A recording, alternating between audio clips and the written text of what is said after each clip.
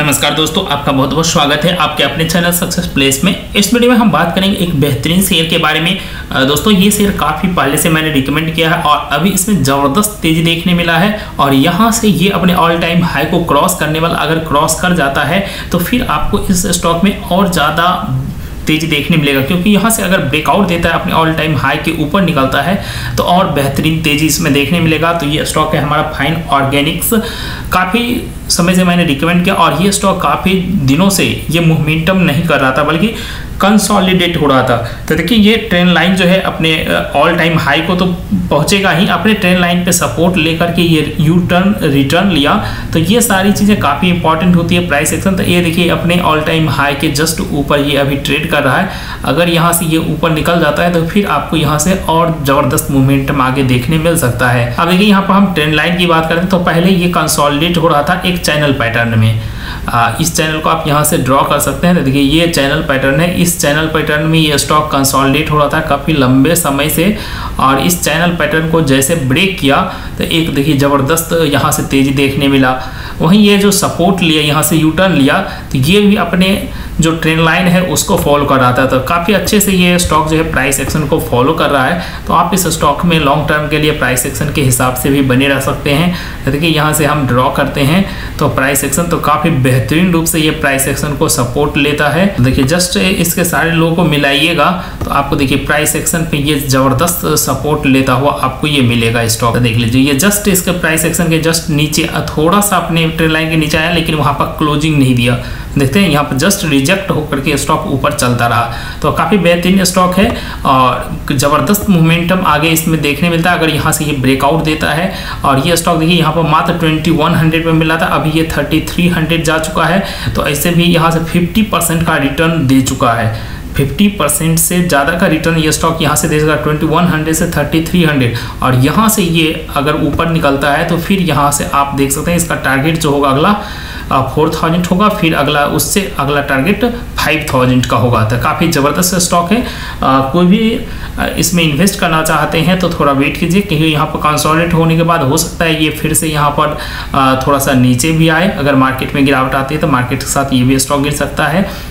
वहीं अगर ये स्टॉक यहाँ से ऊपर निकलता है कंसोलिडेट होने के बाद यहाँ पर लगातार कंसोलिडेट होता है कंसोलिडेट होने के बाद ऊपर निकलता है तो फिर यहाँ से ज़बरदस्त तेज़ी देखने मिलेगा, जैसा कि आपको पहला जो टारगेट होगा फोर थाउज़ेंड का, दूसरा होगा फाइव थाउज़ेंड का। यहाँ पर देख सकते हैं, ये स्टॉक यहाँ पे भी जब ये ऊपर निकला तो यहाँ पर कंसोलिडेट हुआ।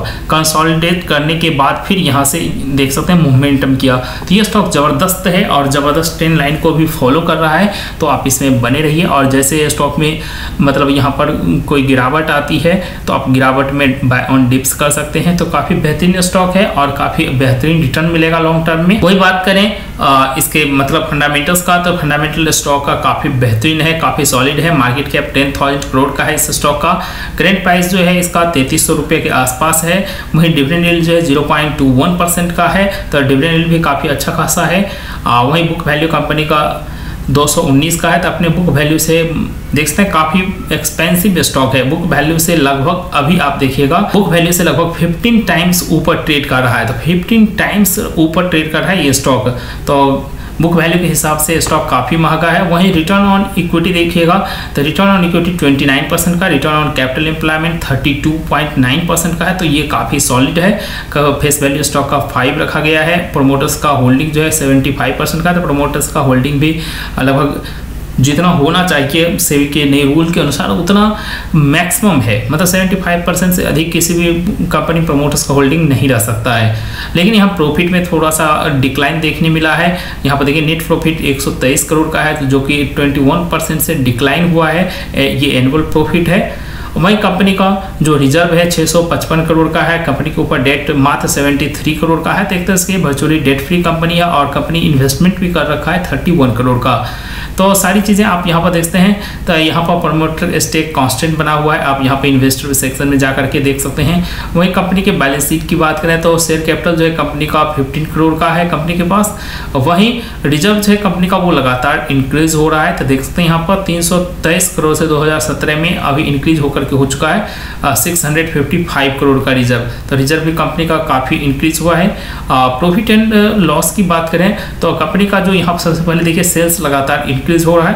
कंपनी का प्रॉफिट थोड़ा सा यहाँ डिक्लाइन हुआ है, जो कि आपने देखा 21 परसेंट से डिक्लाइन हुआ। उससे पहले कंपनी का प्रॉफिट लगातार इंक्रीज हो रहा था। और इस बार लगातार मतलब जो पिछले 12 मंथ है, उसमें प्रॉफिट डिक्लाइन हुआ है। तो इस बात पर भी आपको ध्यान रखना है कि कंपनी का प्रॉफिट थोड़ा सा डिक्लाइन हुआ है। वहीं कैश फ्लो जो है कंपनी का कैश फ्लो लगातार पॉजिटिव है तो कैश फ्लो पर आ, मतलब हमेशा ध्यान रखना चाहिए। अगर कैश फ्लो निगेटिव होता है तो कुछ ना कुछ उस कंपनी में बैड न्यूज़ है।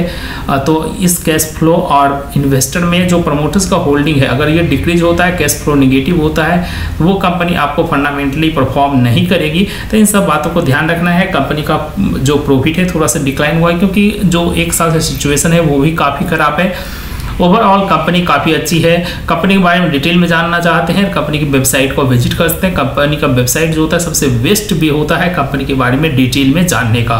तो जैसे यहाँ फाइन ऑर्गेनिक पर आप क्लिक करेंगे तो कंपनी के बारे में यहाँ पर आप पूरी तरह से जान सकते हैं कंपनी का कहाँ कहाँ बिज़नेस है। एक मल्टीनेशनल कंपनी है वर्ल्ड वाइड देख सकते हैं फिफ्टी ईयर्स कंपनी के कंप्लीट हो चुके हैं। साथ साथ कंपनी जो है, कई सारे कंट्रीज़ में इस कंपनी के बिज़नेस हैं। यहाँ प्रोडक्ट पे जाके कंपनी के सारे प्रोडक्ट को देख सकते हैं। कंपनी के प्रोडक्ट में यहाँ पर देख लीजिए मेन बात, यहाँ पर additives for plastic additives for food additives for rubber और वहीं कॉस्मेटिक एंड फार्मा के लिए भी एडिटिव्स बनाती है पेंट एंड इंक के लिए एडिटिव्स बनाती है टेक्सटाइल के लिए स्पेशलिटी एप्लीकेशन के लिए।